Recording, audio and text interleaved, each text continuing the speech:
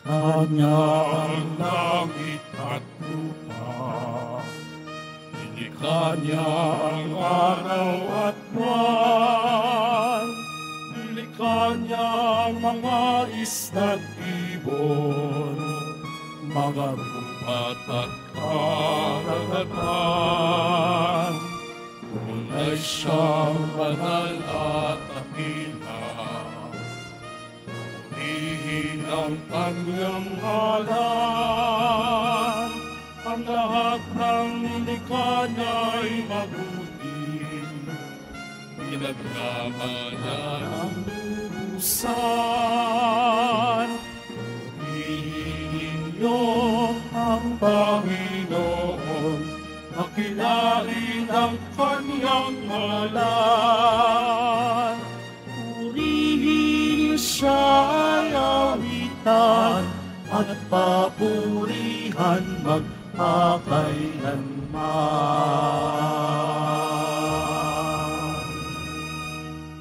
Sa ngala ng Ama at ng Anak at ng Espiritu Santo, Amen. sumainyo ang Panginoon. At sumaiyo rin.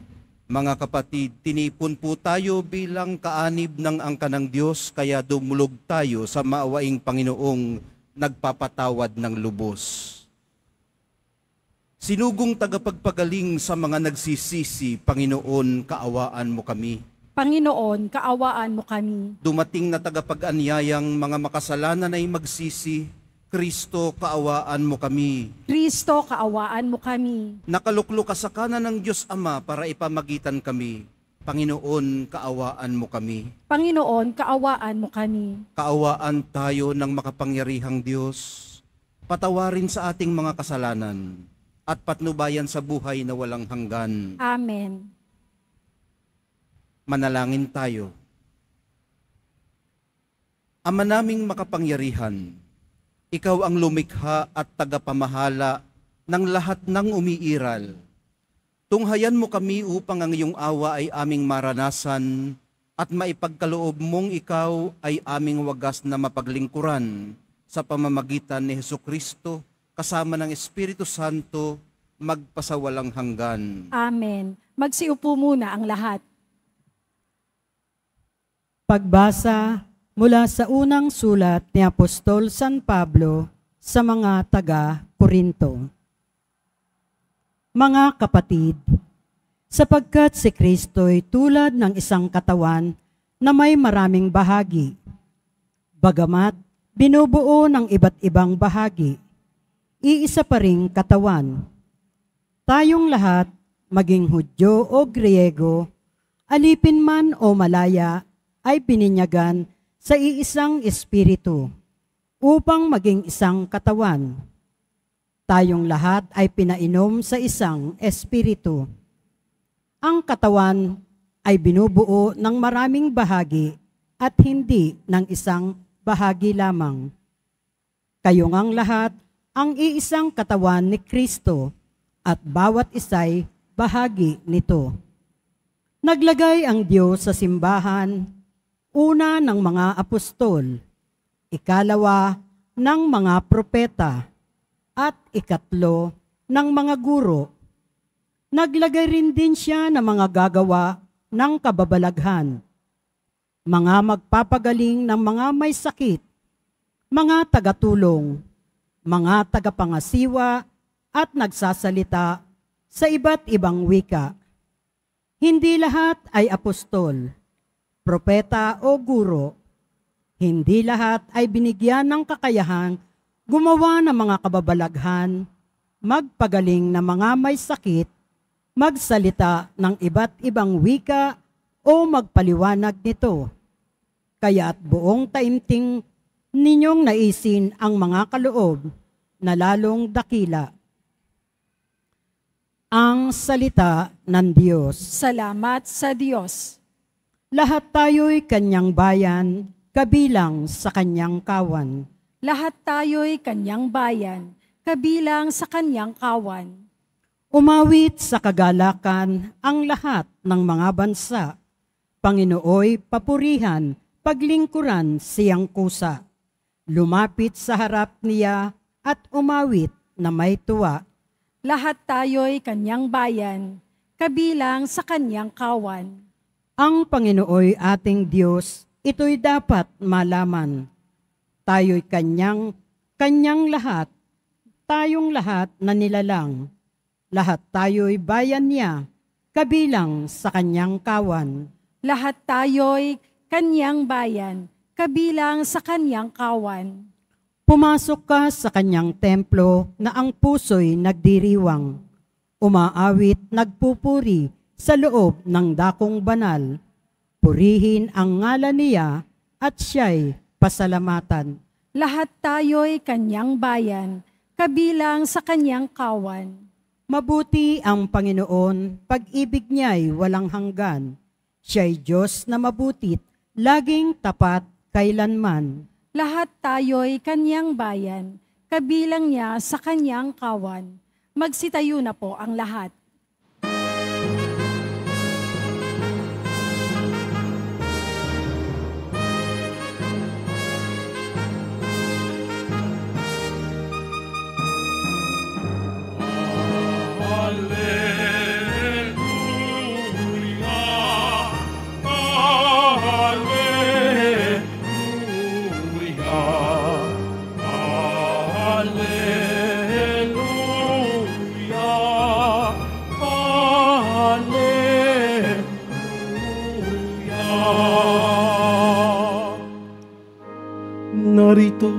At dumating na isang dakilang propeta sugo ng Diyos sa bayan niya.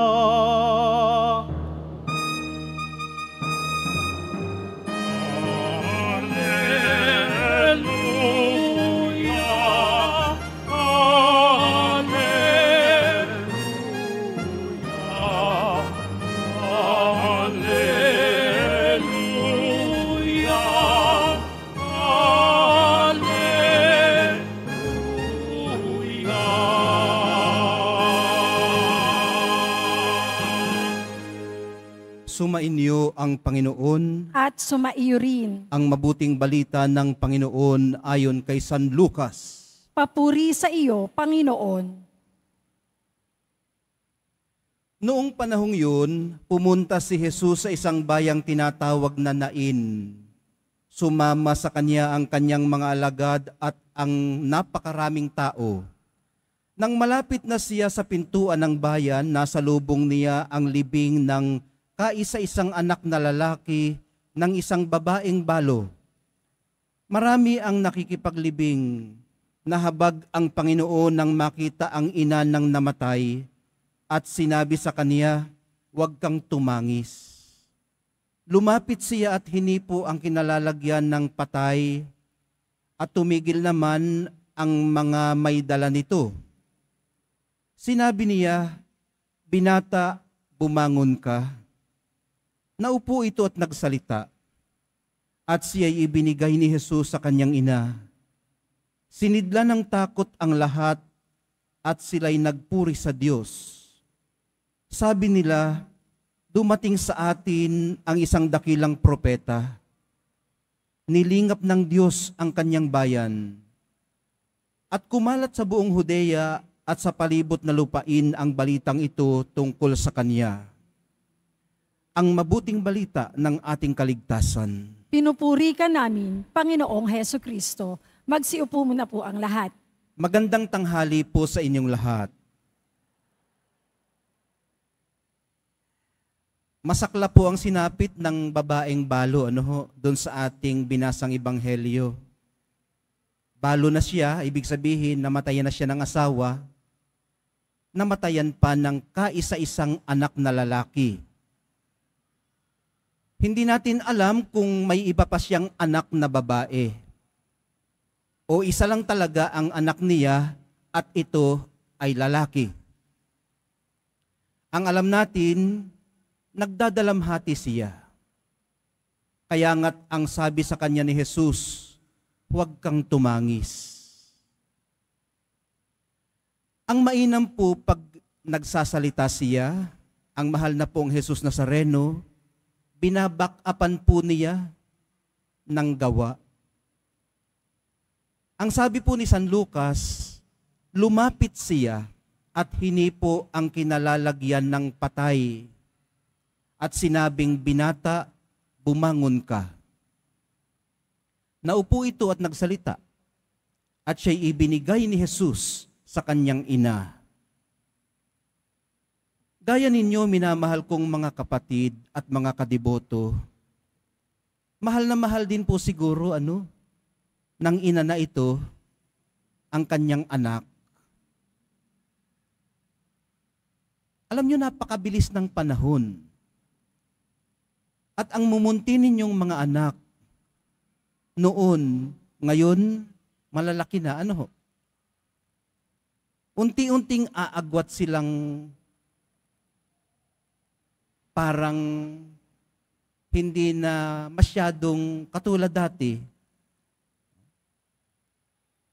Nag-i-individuate sila. At napakahalaga po ang bahaging ito sa kanilang paglaki. Ang proseso ng individuation. Importante pong iginagalang natin ang kanilang individuality o ang kanilang kakanyahan at nirerespeto ang kanilang privacy. Kung medyo nagiging silent na ng kaunti ang treatment nila sa atin at hindi na kasing lambing noon nang sila'y maliliit pa, unawain po natin lihim na lang tayong magdalamhati dahil lumaki na, hindi nawala yung ating baby, kundi lumaki na siya. Sabayan natin ang kanyang paglaki. Kineklaim po kasi nila sa panahong ito ang sarili nila ang sarili po nilang space sa mundo. Kaya kailangan nila ng kaunting privacy. At kailangan nilang i-assert ang kanilang kakanyahan, ang kanilang kaibahan sa karamihan. Kaya kung minsan may bugnutin sila. Pag medyo naslaitan mo, pag medyo na nasaling mo yung hindi komportable sa kanila, mabubugnot sila sa inyo. Hindi dahil sa kanilang hormones lang, dahil nga mga teenagers o young adults, kundi talagang nagseset sila ng boundaries. Hanggang saan ka lang pwede, hanggang saan ka hindi pwede. At tayong matatanda, mabuti po kung nare-recognize natin yun para mahalin pa rin nila tayo so that they won't hate us kasi yung mga ibang mga tatay at mga nanay nagrereklamo, mabuti pa nung maliliit kayo. Kasi, eh, mababait kayo. Mabait pa rin naman sila. Ngayon, bugnutin lang dahil nga sa uh, masyado silang sensitive. So itong binatang ito na anak ng babaeng balo, mga kapatid, naudlot marahil, uh, ano ba yung naudlot? sa mababaw na Tagalog. Napatigil, stunted sa English. Nag-stop yung kaniyang prosesong ito. Bakit? Eh namatay eh. Namatay siya. At nasisilip natin ang realidad na ito nang ibigay siya ng Nazareno sa kanyang ina Di ba binuhay siya? Bumangon ka binata. Pwede namang pagkatapos niyang bumangon, eh, sumulong na siya sa kanyang sariling buhay. Pero, ibinigay siya ng Nazareno sa kanyang ina. Kailangan pa niya ang kanyang ina dahil nga maaaring naudlot ang proseso niya ng individuation at kailangan-kailangan pa rin siya ng kaniyang ina. Siya po siguro ang pinaghuhugutan niya ng lakas. Sa kanya, sa tingin niya siguro, nanggagaling ang kanyang buhay dahil siya ang kanyang pinaglalaanan ng sarili niyang buhay. At siya rin ang dahilan para magpunyagi hanggang huli kahit wala siyang katuwang sa buhay. Alam na alam ito ng mga single parents kung paano magsumikap ng walang katuwang. Ang pagsusumikap pong ito at ang sense of loss ng babaeng balong namatayan ng binatang anak ay minamahalaga ng mahal na pong Jesus Nazareno. Kahit na po alam nating ang ating mga anak, ang ating mga apo at ang ating mga pamangkin ay hindi naman talaga masasabing atin. Tulad ng buhay, ipinahiram lang po sila sa atin upang malasap natin ang pinakamaligayang maaaring ihatid ng buhay. Ang magmahal ng wagas, ang magmahal ng walang kondisyon, at ang magmahal ng walang pasubali. May utang na loob nating pinasasalamatan ng Diyos sa pagbibigay sa atin ng pagkakataong maranasan ito para sa marami sa atin, maaaring ito na ang pinakamasayang karanasan. Maaaring sa babaeng balo, nang mamatay ang kanyang kaisa-isang anak na lalaki, maaaring para sa kanya ay pwede na rin siyang mamatay. Hindi dahil wala na siyang paglalaanan ng kanyang buhay at pagsusumikap sa buhay, kundi dahil naranasan na niya ang pinakamaligayang pwedeng idulot ng buhay. At ang pinakamasayang karanasan pong ito ay napakaigsi lamang. Maigsing panahon na nagbibigay puwang sa ating puso para maintindihan natin at maunawaan at maranasan kung paano ba tunay na magmahal. May redeeming factor naman po ang ma-realize na ito sa huling tuo. Sa ano ho? Uh, alam naman nating sa Diyos,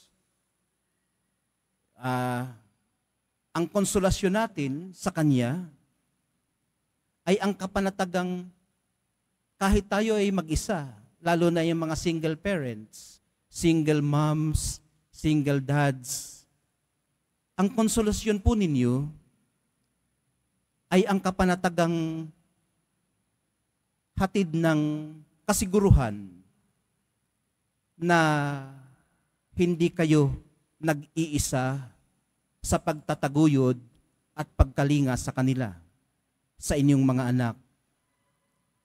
Dahil kung alam niyong sila ay sa Diyos, makakatahan po kayo sa kasiguruhang iniingatan sila ng Diyos. Nililingap sila ng Diyos at kinakalinga sila ng Diyos. Tayo, tayong mga tiyo, tiya, lolo, lola, nanay at tatay, ay kanya lamang mga katiwala. Matulungan nawa tayo ng Espiritu Santong maging mga mabubuting katiwala. Palakasin nawa tayo ng banal na Eukaristiya para magabayan pa na natin sila sa natitira pa nating mga panahon at habang sila ay nakaka-appreciate pang mabuti ng ating paggabay at gawin ito ng tama. Mahal na poong Jesus Nazareno, maraming salamat po sa inyong mga ipinagkatiwala. Magsitayo na po ang lahat.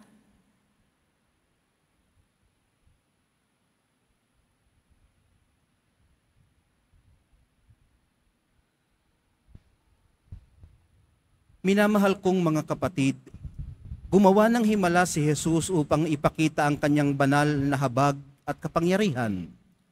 Puno ng pagkamangha sa ganitong mga kahangahangang bagay, manalangin tayo sa Ama na nagsugo sa ating tagapagligtas. Sa bawat panalangin ng atin pong tugon, Diyos ng buhay, mahabag kayo sa amin. Diyos ng buhay, mahabag kayo sa amin. sa pamamagitan ng paggabay at tulong ng mga apostol ng simbahan, naway maipakita ang pag-ibig at kalinga ng Diyos sa sambayanan. Manalangin tayo. Diyos ng buhay, mahabag kayo sa amin. Ang gobyerno naway maging daan ng mahabaging pag-ibig ng Diyos sa katangi-tanging pagkalinga at pagtulong na kanilang ibinabahagi sa mga dukha at mga may sakit. Manalangin tayo. Diyos ng buhay, mahabag kayo sa amin. Yaong mga nagdurusa sa pagkawala ng kanilang mahal sa buhay, naway muling sumampalataya sa buhay sa tulong ng Diyos. Manalangin tayo. Diyos ng buhay, mahabag kayo sa amin. Ang mga may sakit, katulad ng anak ng balo, naway makadama ng mapagpagaling na kamay ni Jesus. Manalangin tayo. Diyos ng buhay, mahabag kayo sa amin. ang mga tapat na yumao, naway muling ibangon sa kaganapan ng buhay sa presensya ng Diyos. Manalangin tayo. Diyos ng buhay, mahabag kayo sa amin. Espesyal po nating iakyat sa krus ang ating panalangin lalo na sa mga kilala nating mga anak na naging suwail at tampalasan sa kanilang mga magulang.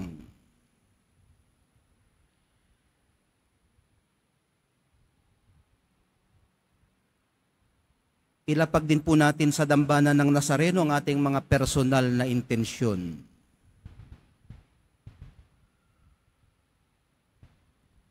Manalangin tayo. Diyos ng buhay, mahabag kayo sa amin. Ama naming Diyos, gabayan mo kami upang aming mahipo ang mga may pusong wasak at matulungan silang madama ang iyong anak na dumito sa amin.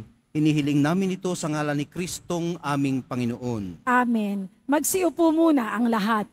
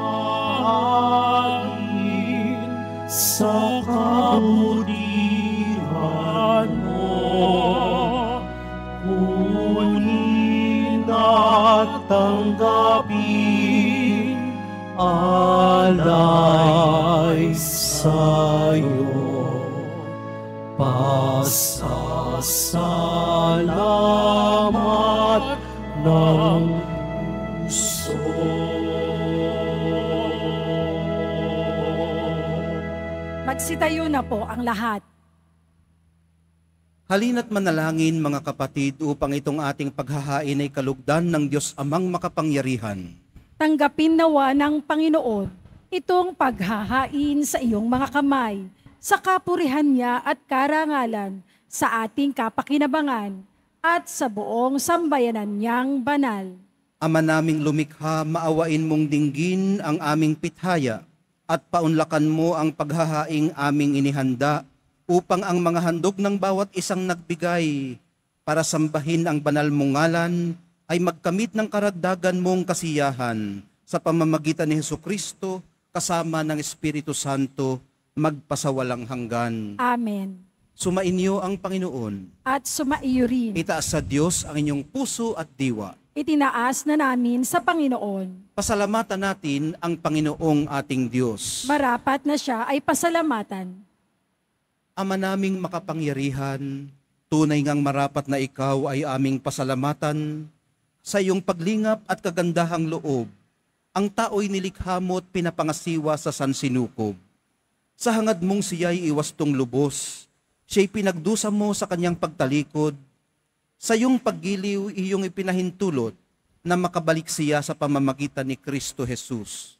Kaya kaisa ng mga anghel na nagsisiawit ng papuri sa iyo, nang walang humpay sa kalangitan, kami nagbubunyi sa iyong kadakilaan. Santo, Santo, Santo, Panginoong Diyos ng mga hukbo, napupuno ang langit at lupa ng kadakilaan mo. O sana sa kaitaasan, pinagpala ang naparirito sa ngalan ng Panginoon. O sana sa kaitaasan, magsiluhod po ang lahat. Ama naming banal, ikaw ang bukal ng lahat ng kabanalan, kaya't sa pamamagitan ng iyong espiritu, gawin mong banal ang mga kaloob na ito upang para sa amin maging katawan at dugo ng aming Panginoong Heso Kristo.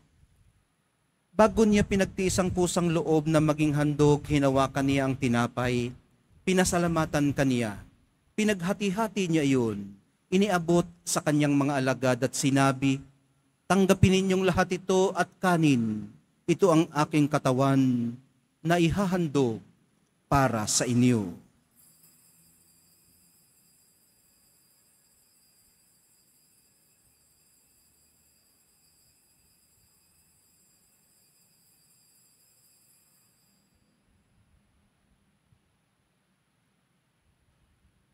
Gayon din naman noong matapos ang hapunan, hinawakan niya ang kalis muli kanyang pinasalamatan. Iniabot niya ang kalis sa kanyang mga alagad at sinabi, Tanggapin ninyong lahat ito at inumin. Ito ang kalis ng aking dugo, ng bago at walang hanggang tipan. Ang aking dugo na ibubuhos para sa inyo at para sa lahat. Sa ikapagpapatawad ng mga kasalanan, gawin ninyo ito sa pag-alaala sa akin.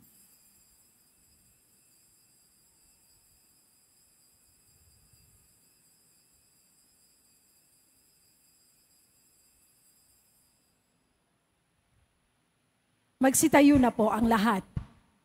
Ipagbunyi natin ang misteryo ng pananampalataya. Si Kristo'y namatay, si Kristo'y nabuhay, si Kristo'y babalik sa wakas ng panahon. Ama, ginagawa namin ngayon ang pag-alala sa pagkamatay at muling pagkabuhay ng iyong anak. Kaya't iniaalay namin sa iyo ang tinapay na nagbibigay buhay at ang kalis na nagkakaloob ng kaligtasan. Kami nagpapasalamat dahil kami iyong minarapat na tumayo sa harap mo para maglingkod sa iyo.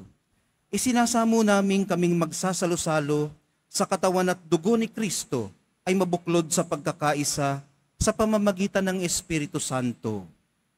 Amalingapin mo ang iyong simbahang laganap sa buong daigdig. Puspusin mo kami sa pag-ibig kaysa ni Francisco na aming Santo Papa at ni Jose na aming Obispo at ng Tanang Kaparian alalahanin mo rin ang mga kapatid naming nahimlay nang may pag-asang sila'y muling mabubuhay, gayon din ang lahat ng mga pumanaw. Kaawaan mo sila at patuloyin sa iyong kaliwanagan. Kaawaan mo at pagindapatin kaming lahat na makasalo sa iyong buhay na walang wakas. Kaisa ng mahal na Birheng Maria na ina ng Diyos, ng kabiyak ng puso niyang si San Jose, kaisa ng mga apostol, ni San Juan Bautista at ng lahat ng mga banal na namuhay dito sa daigdig ng kalugod-lugod sa iyo. May pagdiwang nawa namin ang pagpupuri sa ikararangal mo sa pamamagitan ng iyong anak na aming Panginoong Heso Kristo. Sa pamamagitan ni Kristo, kasama niya at sa Kanya, ang lahat ng parangal at papuri ay sa iyo, Diyos amang makapangyarihan, kasama ng Espiritu Santo, magpasawalang hanggan. Amen. Sa tagubili ng mga nakagagaling na utos at sa turo ni Jesus na Panginoon natin at Diyos, ipahayag po natin ng lakas loob. Ama namin, Sumasalangit ka. Sambahin ang ngalan mo. Mapasa amin ang kaharian mo. Sundin ang loob mo dito sa lupa para nang sa langit. Bigyan mo kami ngayon ng aming kakanin sa araw-araw at patawarin mo kami sa aming mga sala para nang pagpapatawad namin sa nagkakasala sa amin. At huwag mo kaming ipahintulot sa tukso at iadya mo kami sa lahat ng masama. Hinihiling po namin kami iadya sa lahat ng masama, pagkalooban ng kapayapaan araw-araw, iligtas sa kasalanan, at ilayo sa lahat ng kapahamakan, samantalang aming pinananabikan ang dakilang araw ng pagpapahayag ng tagapagligtas naming si Heso Kristo. sapagkat iyo ang kaharian at ang kapangyarihan at ang kapurihan magpakailanman. Amen. Panginoong Heso Kristo, sinabi mo sa iyong mga apostol, kapayapaan ang iniiwan ko sa inyo, ang aking kapayapaan ang ibinibigay ko sa inyo. Tunghayan mo ang aming pananampalataya at huwag ang aming pagkakasala. Pagkalooban mo kami ng kapayapaan at pagkakaisa ayon sa iyong kalooban, kasama ng Espiritu Santo, magpasawalang hanggan. Amen. Ang kapayapaan ng Panginoon ay laging sumainyo. At sumaiyo rin. Magbigayan po kayo ng kapayapaan sa isa't isa.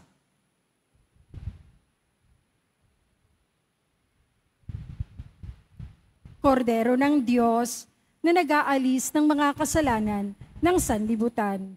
Maawa ka sa amin. Kordero ng Diyos na nag-aalis ng mga kasalanan ng sanlibutan. Maawa ka sa amin. Kordero ng Diyos na nag-aalis ng mga kasalanan ng sanlibutan. Ipagkaloob mo sa amin ang kapayapaan. Magsiluhod po ang lahat. Ito ang kordero ng Diyos. Ito ang nag-aalis ng kasalanan ng sanlibutan. Mapalad ang mga inaanyayahan sa piging ng kordero. Panginoon, Panginoon, hindi hindi ako ako, karapat-dapat karapat-dapat na magpatuloy sa iyo, ngunit sa isang salita mo lamang ay gagaling na ako.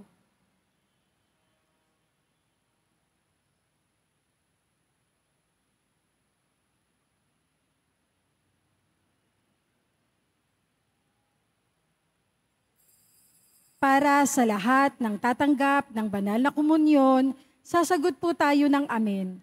Pagkasabi ng pari o ng lay minister ni Kristo at isubo agad sa bibig bago umalis sa harapan ng pari o lay minister. Sumunod po tayo.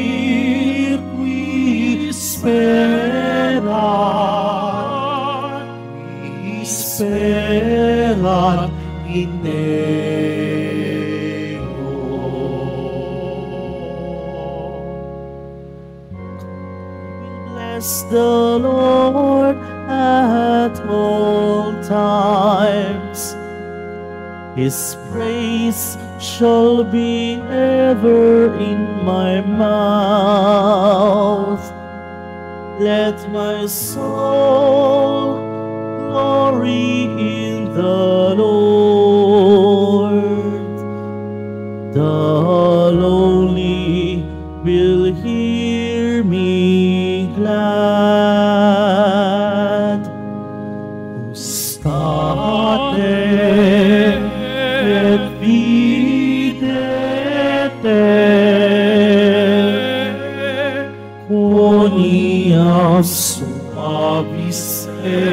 es Dominus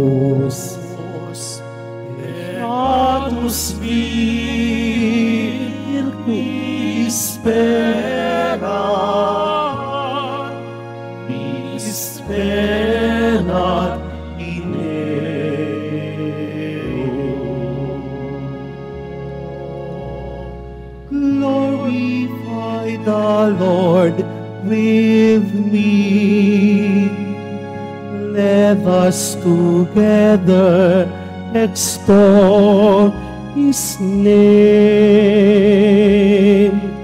I sought the Lord, and he answered me and delivered me from all my sins.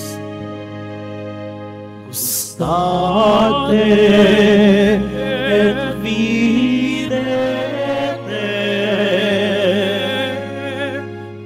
Quoniam suavis es Dominus. Beatus vir qui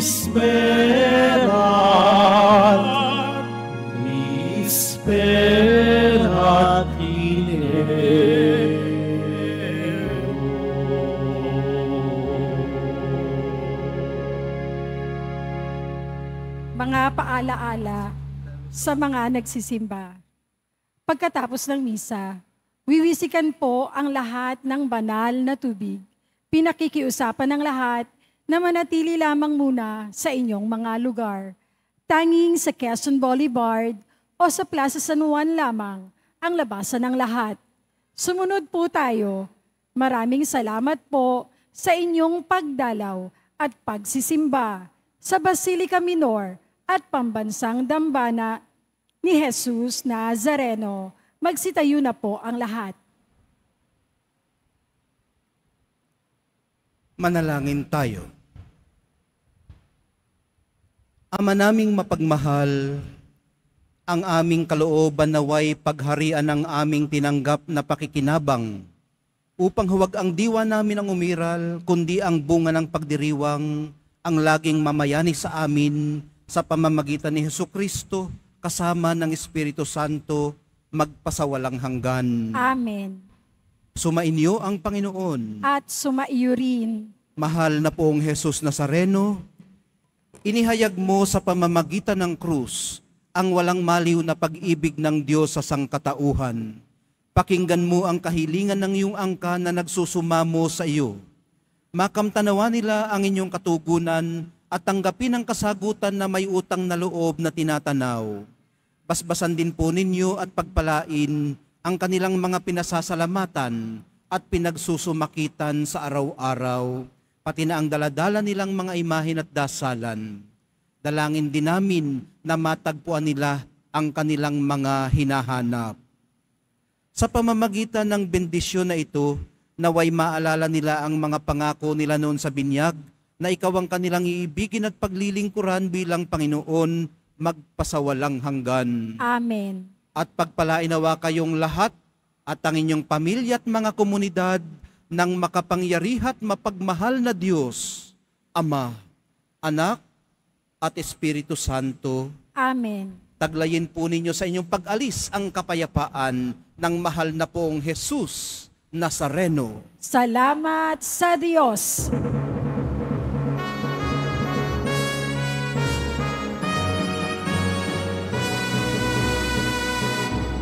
Nuestro Padre Jesús Nazareno, sinasamba ka namin.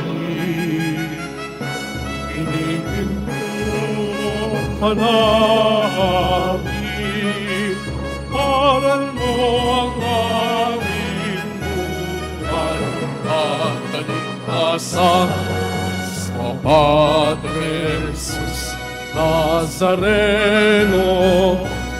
Iligtas mo kami sa kasalanan. Ang krus mong pinamatayan ay sangsag ng aming. Nuestro Padre Jesus Nazareno, inaraman ka namin. Nuestro Padre Jesus Nazareno, inulwalhati ka namin. Nuestro Padre Jesus Nazareno, ka namin. Nuestro Padre Jesus Nazareno, ilunwalhati ka namin.